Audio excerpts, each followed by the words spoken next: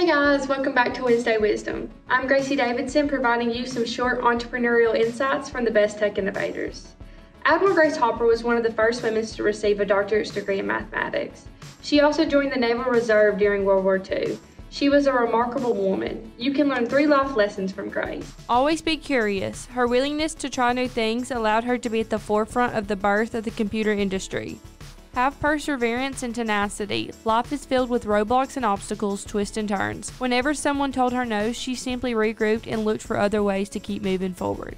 Believe in yourself and stay committed to your own truth. She did not let society dictate her life. Rather, she deeply believed in her own abilities and stayed committed to her own truth, which was that she was equal to any man or woman.